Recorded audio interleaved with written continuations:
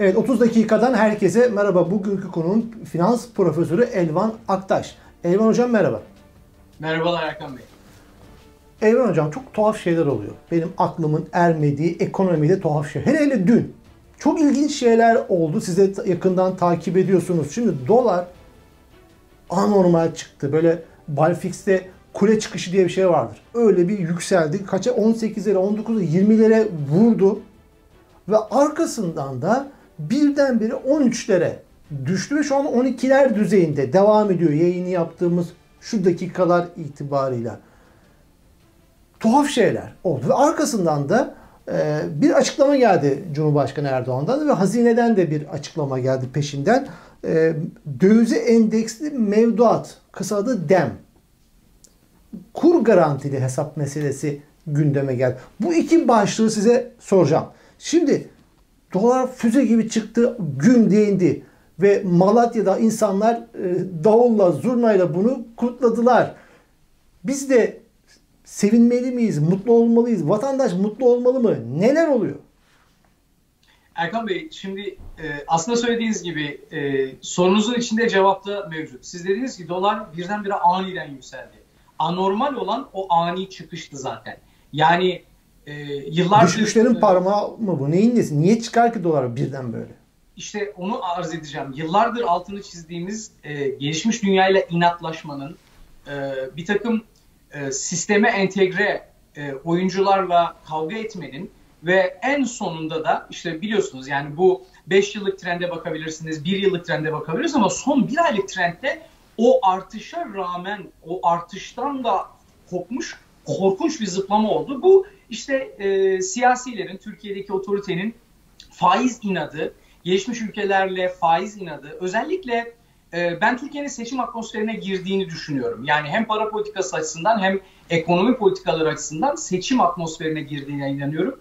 İç politik e, malzeme, iç siyasi malzeme, işte efendim hakkında nas var, faiz haramdır, biz faizleri düşüreceğiz söyleminden geri adım atamama bu inatlaşmanın neticesinde korkunç bir yükselme oldu. Şimdi rakam verelim isterseniz. Hani dediniz ya dün de birdenbire düştü. Ama gerçekten dolar düştü mü?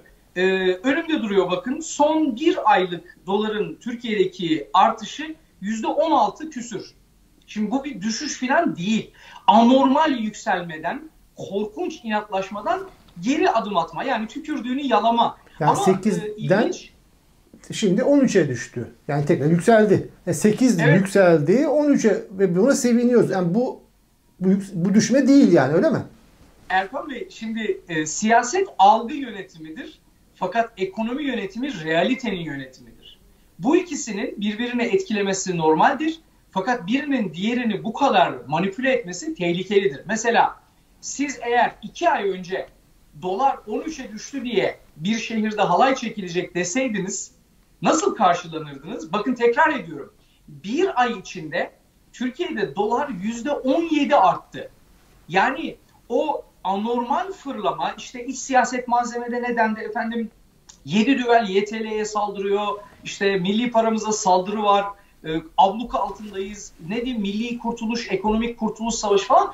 Bunların hepsi boş laflar. Bunlar hamasi iç siyaset söylemleri. Fakat ilginç bir şeyin altını çizmemiz gerekiyor. Yani Türkiye seçim satım haline girdikten sonra ikinci bir soygun düzeni başladı. Dün itibariyle, dün bir milattır bakın Erkan Bey. Bu DEM dediğiniz dövize endeksli mevduat. Yani aslında teknik olarak e, izleyicilerimizin anlaması açısından döviz getirisi garantili mevduat faizi demek. Hocam demin detaylarıyla soracağım. Mümkün mü? O para kimden çıkıyor? Nedir ne değildir soracağım ama bu iniş çıkışla alakalı şu konuşuldu. Dendi ki yani önce dolar ucuzken 8'deyken yandaşlarına ucuz krediler verdi devlet. Arkasından bunlar dolar satın aldı. Sonra bu doları ne zaman ne kadar çıkartacağını bilen iktidar çıkarttı ve arkasından bu adamlara dolar bozdurttu. O arkası o TL'ler tekrar döviz garantili hesaplara yattı. Sağlı sollu tokatlıyor iktidar deniyor. Ne diyorsunuz? Ya ben mesleğim açısından elimde veri olmadan ya da bu bahsettiğiniz söylentiler, suçlamalar açısından herhangi bir e, tespit edilmiş bir suç olmadan bir spekülasyon hakkında bir şey söyleyemem. Fakat şeffaf olmayan, denetlenemeyen devletlerin ya da hukuki sistemi zemine oturmamış ülkelerin bu tür hareketlerde özellikle iktidar, iktidar yandaşı şirketler, bankalar, kamu bankalarının bu kadar ağırlığı olan bir sistemde özellikle işte bu şişirilmiş, zenginleştirilmiş inşaat şirketlerinin bu kadar baskın olduğu bir ülkede bunun yapılmamış olmasına pek de ihtimal veremiyorsunuz tabii. Yani ben de öyle. Çünkü düşünsenize şimdi e, bakın rakam vereyim tekrar size. Sadece bir gün hani bu bahsettiğiniz meşhur başarılı e, doları düşürme operasyonundan sonra sadece bir gün içindeki oynaklık 11 ile 14. Bir gün içinde. Bu korkunç bir rakam. Ama daha e, benim aslında izleyicilerimizin dikkatini çekmek istediğim daha tehlikeli olansa sadece son bir yıl içindeki oynaklık 6.89 ile 18.35. Bakın bu gelgitler iktidara yakın veya e, karar mekanizmalarına yakın kişi ya da kurumların bu bilgileri önceden almaları halinde ne kadar büyük biliyorsunuz bakın biz e, Türkiye'de Merkez Bankası Başkanı'nın devalüasyondan önce hani bu Çiller dönemi bu Nisan kararları falan zamanında Merkez Bankası Başkanı'nın 5-10 milyon dolar satıp zengin olduğu konusunda öfkelenmiş bir toplumuz. Şimdi 6.89 18.35 dalgalanmasında bu gitgelleri, bu politika e, hızlı dönüşlerini yani neden neyi kastediyorum hızlı dönüşten? Çünkü bir noktayı kaçırmak istemiyorum. Sorunuzun içinde 3-4 tane önemli soru var. Vatandaş buna sevinmeli mi dediniz? Efendim bakın siyaset algı yönetimidir. Ekonomi realitenin yönetimidir. Bugüne kadar özellikle son bir ayda korkunç bir kur baskısı yüzünden fiyat artışları ve enflasyon baskısından bahsediyorduk değil mi? Vatandaş, çarşı, pazar, kurumlar, politika uygulayıcıları veya bu politikayı yapanlar herkes kur yükseldiği için zam olduğundan bahsediyordu. Efendim buyurun eğer vatandaş halay çekecek kadar böyle sokaklarda kutlamalar yapacak kadar doları düşündüğüne seviniyorsa eğer benzin fiyatlarında bir takım e, canlarını yakan e, fiyatlarda düşüş yaşayacak mı? İşte realite budur. Yaşamayacak bu düşüş, mı? Yaşanmayacak bu düşüş, sizce? Bu düşüş çarşıya pazara yansıyacak mı? Cevap hayır. Sebebi de az önce sorduğunuz sorunun içinde e, gizli. O kadar güzel bir soru sordunuz ki katman katman sorular var içinde. Dediniz ki dövize endeksli mevduatı bunu kim karşılayacak? Şimdi sokaktaki vatandaşla ben mesela bazen bu sokak röportajlarını izliyorum. Sokaktaki vatandaş hala devletin kendisinden farklı bir şey olduğunu, devletin bir kasası olduğunu, hazinenin sanki başkalarına ait bir parayı yönettiğini zannediyor. Efendim aradaki farkı vatandaş ödeyecek. Peki nasıl ödeyecek? Bugüne kadar şöyle bir soru soralım. Ee, neden buna ben ikinci soygun düzeni diyorum? Bunun bir proje e, boyutu var bir de finansman boyutu var. Proje boyutunda bugüne kadar en çok vatandaşın canının yandığı şeylerden bir tanesi neydi? Bu iktidar çok zeki bir şekilde hülle yani böyle gizli şeri, hille-i şeriye derlerdi eskiler buna. Osmanlı döneminde biliyorsunuz faizi saklamak için kullanılan bir ifadedir bu. Hille, hille-i şeriye. Ne dedi mesela? Vatandaşımızın cebinden tek kuruş çıkmadan büyük dev projeler yapıyoruz. Yap işlet devletle, devlet e, modeliyle. Halbuki yap işlet devlet modeli ta 80'lerden 90'lardan beri bilinen bir şey. Fakat o köprülere, tünellere, hastanelere, havaalanlarına yolcu, hasta, geçiş garantisi veriliyordu. Bu garantiler de dolar bazında veriliyordu. Bugüne kadar Hakkari'de, Urfa'da, Artvin'de yaşayan bir vatandaş hayatı boyunca belki hiç gidip geçmeyeceği köprünün bile Covid kapanmaları sırasında dolar bazında farkını o yüklenici firmalara ödüyordu. Bakın bu proje, proje e, bazında birinci soygundu. Proje e, finansman bazında birinci soygunsa son zamanlarda ortaya çıkan bu faiz inatlaşması. Geçenlerde meclis kürsüsünden çok akıllıca dile getirildi bu. Ne deniyor şimdi Türkiye'de? Efendim hakkında nas var, faiz haram. Biz yüksek faize vatandaşımızı yedirmeyeceğiz. Hayır, bu ayet yeni mi nazil oldu bilmiyorum. Yani 20 yıldır iktidarda bu adam ya. Yani meselenin nas meselesi olmadığını herhalde vatandaş idrak ediyor olmalı. Ya Erkan Bey mesele nas meselesi ise başka ne naslar var. Şimdi oralara evet. girmeyelim isterseniz. Fakat e, meclis kürsüsünden ifade edilmiş iki çok zekice ifade duydum. Bir tanesi e, efendim e, yüzde 20 faiz haram da %14 değil mi? Bununla alakalı nas yok mu? İkincisi de şimdi politika faizi demek e, gelişmiş ülkelerde gecelik, Türkiye gibi ülkelerde haftalık repo faizi. Yani Merkez Bankası'nın finansal kurumlara açtığı açık hesaptır bu. Ne demek bu bakın? Son e, tahvil ihalesinde hazine yurt içinden TL bazlı yüzde 23 ile borçlandı. Yani bankalar hazineye bu borcu veren tahvil ihalelerine girip Türkiye Cumhuriyeti hazinesinin tahvillerini satın alan bankalar repo faiziyle o parayı hazineden yüzde 14 ile alıyorlar, hazineye yüzde 23 ile borç veriyorlar. Bu büyük soygun bir. Efendim dünyanın hiçbir yerinde böyle bir saçmalık yok.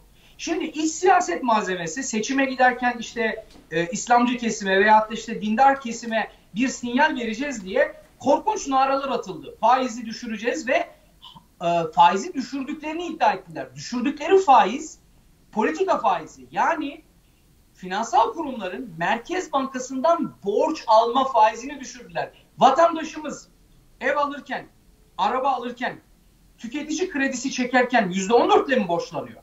Hodri meydan. Türkiye'de herhangi birisi bir bankaya gitsin %14 ile borç almaya kalksın.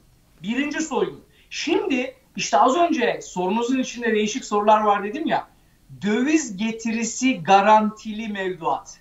Bu resmen sizinle bir önceki yayında biliyorsunuz ben böyle çok sık yayına çıkmak istemiyorum. Ama her yayına çıktığımda çok ciddi fay hatları kırılmış oluyor. Bu Türkiye Cumhuriyeti tarihinde bir milattır Erkan Bey. Hocam şimdi bu döviz garantili mevduatı biraz hani ilk defa haberi okuyacak olanlar vardır, duymamışlar olabilir. Yani buradaki devlet, iktidar şunu mu diyor? Diyor ki bankada vadeli hesabınızı, faizli paranızı TL'ye çevirip TL'de dursun, vadeli olarak dursun. Yüzde ne kadar faiz şu kadar. Ben onu zaten sana verecek o banka ama artı o süre zarfında, vade süresi zarfında dolar ne kadar yükselirse o farkı ben sana Merkez Bankası kuru üzerinden o farkı vereceğim diyor. Dediği evet, bu değil mi? Verelim. Erkan Bey rakam verelim. Devlet size diyor ki siz dolara kaçmayın. Heh. Türk lirasında kalın. Bunu sağlamak için de bir rüşvet veriyor. Bu nasıl bir rüşvet? Diyor ki ben size %14 faiz vaat ediyorum. İşte 3 aylık bu detaylar o kadar önemli. 3 aylık, 6 aylık, 1 yıllık yapabilirsiniz. İşte ne kadar vadeyi uzatırsanız garanti e, ve kapsamı da artıyor falan filan. Fakat burada çok ilginç bir şey var bakın. Diyor ki %14 faize razı ol. Eğer o sırada dolar %20 artarsa aradaki %6'lık farkı ben vereceğim sana. Paran Peki, TL'de kalsın işte- ama diyor. Heh. İşte bant eli bu. Ne var bunda? bu. Problem ne bu? Burada problem ne? Problem Va- bütün YTL mevduatlarının faizinin dolarize edilmesi demek. Yani Peki bu dolarize edilmenin tabii yani kişisel yatırımcı açısından parasını bankada tutan için bu muhteşem güzel bir şey. Ne yapmış mi? oluyorsunuz? Parası olan için muhteşem efendim, değil mi? Kur, kur ne olursa olsun ben aynı getiriyi kazanacağım diyorsunuz. Fakat siz bütün bu yükü hazinenin sırtına yıkmış oluyorsunuz. Yani Ha. hemen örneğimizi bağlayalım. şey Erkan burada olay problem burada başlıyor. Hemen örneğimizi bağlayalım. Urfa'da yaşayıp hayatı boyunca İstanbul'daki tünelden geçmeyecek vatandaşın o tünelin parasını ödemesi gibi hiçbir zaman bu rant düzeninden fayda sağlamayacak vatandaşın o aradaki yüzde altılık farkı, zamlar, ek ücretler, kalite düşüşleri, eczaneye gittiğinde süresi geçmiş ilaçlar bulmak zorunluluğu, ameliyat olacağı zaman efendim şu anda e, gerekli ameliyatları işte şu ameliyatları şu kadar yapamıyoruz. Gerekli ameliyatın 3 ay geciktirilmesi, işte efendim içtiği suyun suyun temizlenmesinde kullanılan klorun kalitesinden hava kalitesine kadar vatandaşımız fakirleşmeyi hep rakamlarda arıyor. Mesele sadece rakamlar değil. Bakın ülkede fakirleşmenin değişik boyutları var. Bu fakirleşme boyutları ülkedeki vatandaşlara özellikle dar gelirli vatandaşlara e, bordrolu, maaşlı e, e, böyle vergi e, cennetlerinden, vergi hüllelerinden faydalanamayan vatandaşların sırtına dolaylı olarak yıkılıyor. Yani İşte sermaye altıyı- sahibi sermaye sahibi o garantiyi gariban vatandaşın sırtından alacak. Öyle mi? Devlet onun sırtında alıp garanti olarak sermaye sahibine verecek. E, e, zaten bugüne kadar işte o yüzde 14, yüzde 23 farkı vardı ya. Oradan zaten finansal olarak yapıyordu bunu. Şimdi bütün mevduatlara yaymış oluyor. Ama bakın seyircileriniz açısından bir şeyin de altını çizelim. Bir önceki yayınımıza da atıfta bulunalım burada. mevduatların artık dolar cinsinden mevcut olmadığını iddia etmiştik. Fiili olarak hatırlarsanız ne demiştik? Onlar swap piyasasında garanti olarak kullanıldı. Zaten bankalar biliyorsunuz kendilerine mevduat olarak gelen parayı kasada tutmazlar. Bunların kullanılması normaldir de nerede ve hangi vadeyle, hangi faiz makasıyla kullanıldığı önemlidir. Orada finansal bir faciadan bahsetmiştik. Şimdi o finansal facianın bütün YTL mevduatlarına, bütün Türk lirası mevduatlarına yayıldığını düşünün. Ve bunun yükü hazine üzerinden vatandaşın sırtına yıkılmış durumda. Bu aslında bugüne kadar yıllardır, bakın 7-8 yıldır Türkiye Cumhuriyeti Merkez Bankası'nın bağımsızlığını kademe kademe kaybetmesi ve elindeki politika araçlarının etkisizleştirilmesi noktasında artık bir yeni zirveye ulaşıldı demek. Bu ne demek? Aslında iktidar iki şeyde havlu atmış oluyor, tükürdüğünü yalıyor. Bir tanesi faizi düşüreceğim dedi, dolaylı olarak faiz arttırmış oluyor. Biz bunu Amerika'da call option diyoruz. Yani bond, tahvil satarken bazen bunlara warrant dediğimiz call option'lar eklenir. Yani devlet diyor ki artık ben kendi politika araçlarımla güvenilir bir şekilde Türk lirası borçlanamam. Türk lirası faiz politikası uygulayamam. Nasıl diyor bunu sağlayabilirim artık? Dolarize ederim. Yani vatandaşa diyor ki bankada paranı YTL için tutmak için, YTL olarak tutman için sana diyor dolar rüşveti veriyorum. Dolar ne getiri verirse ben de sana bunu vereceğim. Tabii bunun altına bir parantez açmalı hukukçularımız. Siz sormadınız ama açmalılar. Biliyorsunuz Özal döneminde e, süper emeklilik diye bir şey çıkmıştı. Böyle vatandaşlarımız erken yaşta 36-37 yaşında emekli olmuşlardı. Bunların hepsi devlete güvenmişlerdi. Ama ondan sonra devlet birdenbire fikrini değiştirdi efendim. Mesela bugün devlet size işte şu konuda size garanti veriyorum diyor ama bu çark seçim sonrası veya bir seçim atmosferinde ikinci bir sıkıntı sonrası geriye döndürüldüğünde bunun hiçbir hukuki zemini yok. Hiçbir hukuki zemini yok. İki, ikinci e, yaladığı tükürükte dediler ki biz bu kur politikası işte yeni e, Maliye Bakanı'nın ifadesiyle ihracatı arttırmak ve teşvik etmek için ülkeyi Avrupa'nın Çin'i yapacağız. İhracat zengini olacağız. Dolar girdisi sağlayacağız ve ülke kendi dolar girdisiyle kendi yağıyla kavrulacak. E efendim o zaman niye doları baskı altına alıyorsunuz? Bir hafta önceki politikanızdan geri mi döndünüz? Şimdi bağlıyorum Erkan Bey. Bakın siyasi tutarsızlık başka bir şey. Ben ondan anlamam. Bu benim uzmanlık alanım değil. Siyaset algı yönetimidir. Fakat ekonomi realite, reel e, faktörleri yönetmektir. Şimdi siz bütün dünyaya ve iç piyasaya efendim biz kuru serbest bıraktık. Çünkü biz ihracatımızı teşvik etmek istiyoruz diyordunuz. Bir haftada bütün bir ülkenin ekonomi stratejisinden 180 derece geri mi dönüş yaptınız? İki, herhangi bir ülkenin para birimi bir yıl içinde dolar veya euro karşısında 6.89-18.35'lik bantta dalgalanırsa ve siz kendi milli para biriminizin mevduatlarına o dalgalanma üzerindeki getiriyi garanti olarak verirseniz nasıl bir para politikası ve güven ortamı oluşturursunuz? İşte asıl mesele önümüzdeki aylarda vatandaşımıza ek zamlar, ek fakirleşme olarak yansıyacak olan bu risk algısının artık bütün dünyaca kabul edilmiş olmasıdır. Yani iktidar iki e, kulvarda havlu atmış ve tükürdüğünü yalamış durumdadır. Bir, dövizi kontrol edemiyorum. İki, faizi düşüremiyorum. Dünyayla inatlaş, inatlaşmaktan vazgeçtim demektir bu. Kontrol edemiyorum derken şu dakika itibariyle dolar düşüyor. Erdoğan'ın da istediği bu. Ve siz diyorsunuz ki doları kontrol edemiyorum. Nasıl edemiyor? Düşürüyor. Efendim vadeli işlemler piyasasını vatandaşımıza anlatmak çok zor. Yani bunu şöyle izah edeyim size.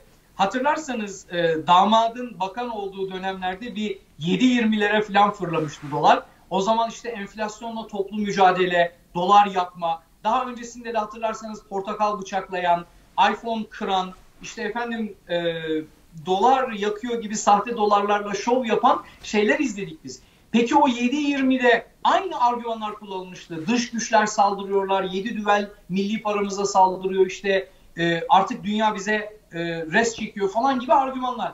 Peki ondan sonra 5.5'lara 5.80'lere indi. Sonra ne oldu? Bakın ben yıllardır Erkan Bey sosyal medyada ve sizin gibi böyle bana konuşma hakkı veren e, medyacı arkadaşlar hep aynı şeyi söylüyorum.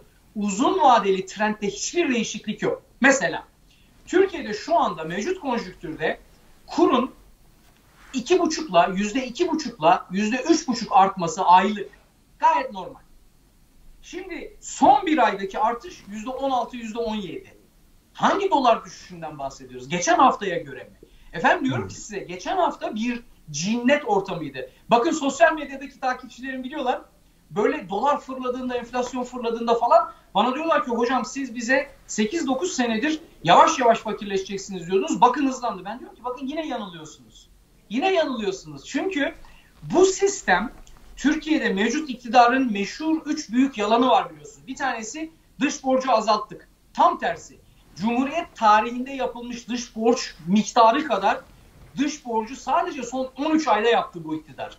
İkinci büyük yalan biz faizle mücadele ediyoruz. Hayır efendim Türkiye kur, faiz, enflasyon kısır döngüsünde bu üçlü de her zaman sadece bir taneyi hedef alabilir. İkiyi hedef aldığı an sonu faciadır. Yani hem kuru hem enflasyonu hem kuru hem faizi veya hem enflasyonu hem e, kuru şeklinde bir politika güdemez. Böyle bir lüksü yoktur. Yani dünyayla faiz inatlaşı yap inatlaşması yapamaz. Üçüncüsü de dev projelerimizi vatandaşımızın sırtına yük yüklemeden finanse ediyoruz yalanı. Halbuki biz sizinle daha önceki yayınlarda konuştuk. Proje, projenin fizibilitesi. Mesela havaalanı yapmışsınız. O havaalanına yolcu garantisi vermişsiniz. Verilen garantinin 20'de biri kadar bile uçan yok. Şimdi fizibilitede bir kazık yiyor vatandaş. Taşeron firmalara projenin aktarılması, proje finansman bedelinin harcanması bir kazık yiyor. Bankalara özellikle özel bankalara hazine garantisiyle Avrupa'dan borçlandırılırken bir kazık daha yiyor. Sonra geçiş garantisinin dolarize edilmesinden dolayı bir kazık daha yiyor. Bunlar bugüne kadar saydığımız 6-7 katmanlı kaza şimdi bir tane daha eklemiş oldular. Vatandaşa diyorlar ki sen dolara hücum etme. Yani kendini döviz üzerinden koruma. Milli parada kal. Biz sana dolar farkını hazineden verelim. Vatandaşı değil, sermayedara söylüyor. Tabii sermayedara söylüyor. Vatan, vatandaşın cebinden alıp yapacak. Eğer cebinden alıp yapamazsa ba Merkez Bankası darpane para basacak da yine ödeyecek o zaman. Efendim, Sözünde duracak olurlarsa. Bu da enflasyon başında, demek değil mi? Yayının başında sorulması gereken soruyu soracağınızı tahmin ettiğim için onu söyledim. Artık Türkiye seçim ekonomisi, seçim para politikası dönemine girmiştir. Bu korkunç bir dalgalanmadır. Ee, yaşı yetenler 90'lardaki koalisyon dönemlerindeki seçimleri hatırlasınlar. Seçim öncesi bol keseden zamlar. Yanılmıyorsam zaten vergi muafiyetleriyle üst üste koyduğunuzda asgari ücrete %50'lik bir zam yapıldığı falan e, ortaya çıkıyor. Ama zaten bir buçuk ayda o yapılan zam geri alınmış durumda. Fiyat artışları ve enflasyonla. Şu anda Türkiye'de efektif enflasyonun çarşıya pazara yansımış olan enflasyonun %48 ile %60 arasında bir yerlerde olduğunu tahmin ediyoruz. En evet. iyimser rakamla ben %48 olduğunu tahmin ediyorum. Ama bağımsız kuruluşlar bunun %50'nin de çok üzerinde olduğunu, bir takım e, yurt dışındaki uzmanlar %100'ün de üzerinde olduğunu iddia ediyorlar. Bakın en iyimser ihtimalle %48. Yani siz daha asgari ücretliye verdiğinizi iddia ettiğiniz e, maaş zammını zaten geçtiğimiz iki ayda geri aldınız. Şimdi seçim ekonomisi ne demek? Yani bu darphane para basacak meselesi biraz böyle halkın anlayacağı dildendir ama seçim ekonomisi demek aslında iktidarın kendine yakın sermaye ve ticaret güçlerini zenginleştirmesi ve algı operasyonunu daha da e, güçlü yüksek perdeden ifade etmesi demektir. Peki Sayın Aktaş şunu da ben sorayım. Şimdi dün düzen evet Türkiye Bankalar Birliği Başkanı bir açıklama yaptı. Dedi ki Erdoğan açıklaması sonrası o piyasanın hareketlendiğinde 1 milyar dolar satıldı dedi. Peki hani şu meşhur dizi film var ya La Casa'da para papel yok meselesi var. Espriyle kaçık söyleniyor. Şimdi ya kasada Merkez Bankası'nda para yoksa bu 1 milyar dolar nereden bulunup da satılıyor ve daha fazla olduğu da söyleniyor. Efendim sizinle geçen yayında bunun cevabını vermiştik hatırlarsanız. Vatandaşın bankalardaki döviz mevduatları. Satılan o, budur. Oradaki vatandaşın parasından. Vatandaşın parasından tabii ki her zaman. Bakın tekrar edelim. Bunu e, böyle dağ taşa yazmak lazım Türkiye'de. Devletin parası, devletin bütçesi, hazinenin parası diye bir şey yoktur. Hepsi vatandaşın parasıdır. Bu ya devlet bütçesi üzerinden işte vergi ve gelirler düzenlemesi üzerinden e, kontrol edilir ya da sistem içindeki mevduatlar üzerinden kontrol edilir. Yani bugün Türkiye'de olan şey e, bir kez daha altını çiziyorum. Artık Türkiye'de zaten borçlar, kontratlar, kiralar, geçiş bedelleri, garantiler hepsi dolarize olmuştu. Artık Türkiye'nin milli para faiz politikası yoktur. Artık tamamı dolarize olmuştur. Yani bütün bir ülke dolar kuru, euro kuru yani döviz kuru riskini omuzlarına almış durumdadır. Fakat sizin de çok güzel ifade ettiğiniz gibi sermaye sahipleri, sistem içindeki aktörler bütün riski vatandaşın sırtına yıkmıştır. Sistem içerisinde alsat yapmayan, yatırım yapmayan, birikimi olmayan, parası olmayan vatandaş sistem içerisinde parası olan, alsat yapan, bu rant düzeninden faydalanan zenginleri finanse etmektedir. Ve bu finanse etme düzeni artık dolarize olmuştur. Yani dolar üzerinden risk kalmamıştır piyasada aktörler açısından. Bütün risk vatandaşın, dar gelirli vatandaşının, vergi mükellefi vatandaşın sırtına yıkılmış durumdadır. Acı olan budur. Yani yeni seçim ekonomisi atmosferinde e, ikinci soygun düzenine geçilmiştir. Bu da nedir? İkinci soygun düzeni. Artık birinci soygun düzeninde finansman bedeli ve proje bedeli üzerinden yapılan soygun artık dolar getirili garanti üzerinden vatandaşın üzerine yıkılmış durumdadır. Bu Türkiye gibi enerjiyi, ham maddeyi, e, teknolojik katma değeri yüksek ürünleri dolarla, euroyla dışarıdan satın alan bir ülke için korkunç bir kumardır Erkan Bey. Korkunç bir kumardır. Peki Eyvallah Akta sizin meşhur bir sözünüz var. Çok kullanıyorsunuz sosyal medyada. Yavaş yavaş fakirleşeceksiniz. Şimdi bu aşamadan sonra hızla mı fakirleşeceksiniz söylemini değiştiriyor musunuz? Sanki Twitter'da öyle bir şey kullandığınız gibi gördüm. Yanlış mı hatırlıyorum? Hayır Yani doğru hızlanıyor mu süreç? Bugüne kadar seyircilerimiz işte o e, 3 2.80'den 3.5'a, e, 6.5'tan 7.20'ye, ondan sonra 8'den 11'e fırlamalarda hep bana hep aynı sistemlerle karşılaştım. Hocam sen yavaş yavaş diyorsun. Bu iş çok hızlı e, gidiyor diye. Şimdi bu 18'lere vurduğunda bu artık ayyuka çıkmıştı. Ben onlara diyordum ki bakın yıllardır hep aynı şeyi ifade ediyorum size. Bu sistem kova içindeki suda yavaş yavaş ısıtılarak e, suyun ısındığının farkına varmayan kurbağaların kandırılması gibi sizi yavaş yavaş fakirleştiriyor. Yani sizin vergileriniz, ek ücretleriniz, akaryakıt zamlarınız her şeye hayat kalitenizden çalınarak işte bu rant düzenine aktarılan kaynaklar sizi yavaş yavaş fakirleştiriyor.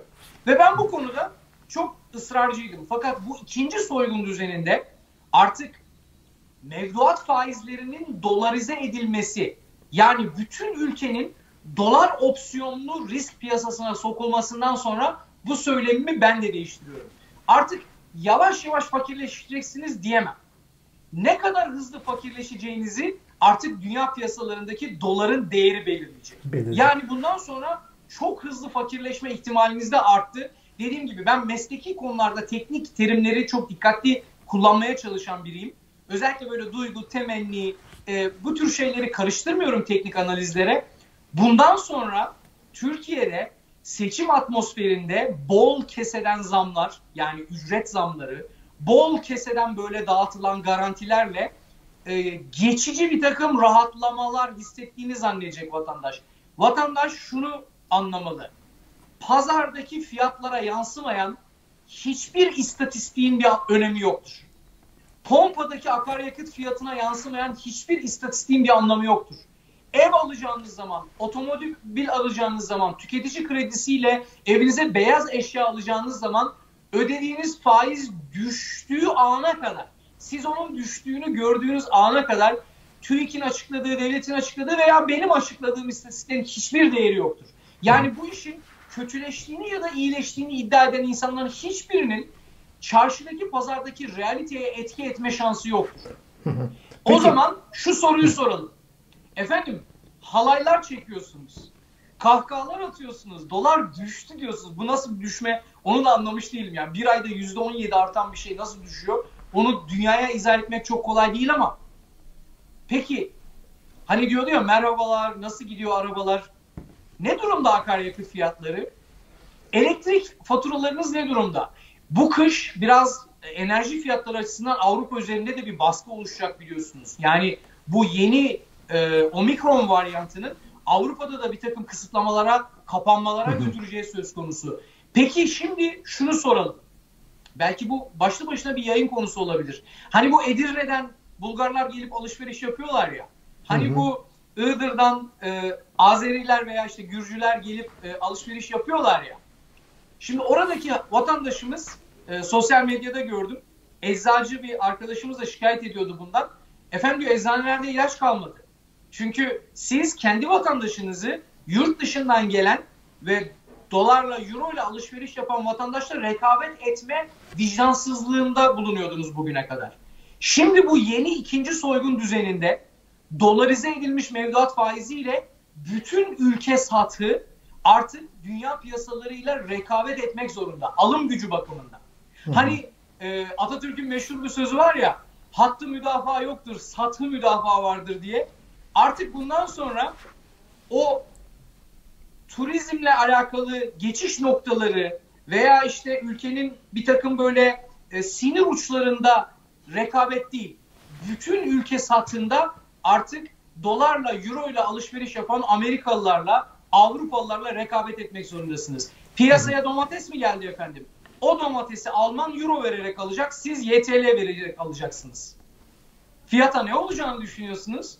Piyasada petrol mü yok efendim? Veya siz petrolü dışarıdan mı alıyorsunuz? Amerika'da dolar vererek alacak o petrolü. Siz YTL vererek alacaksınız. İşte dolarize edilmiş mevduat garantili e, veya getiri garantili mevduat faizi vatandaş açısından bu demek. Benim tahminim kısa vadede böyle halaylar çekilir, portakallar bıçaklanır, Fakat halay çekiliyor da yani e, Profesör Aktaş şöyle bir tuhaflık var. Şimdi sermayedar burada garantili para kazanırken vatandaş niye bayram ediyor? Ben onu anlamadım. Yani gariban vatandaşın sokakta davulla, zurnayla bayram etmesini ilgilendirecek bir durum yok ortada. Yani sizin eğer 100 milyon dolarınız vardır.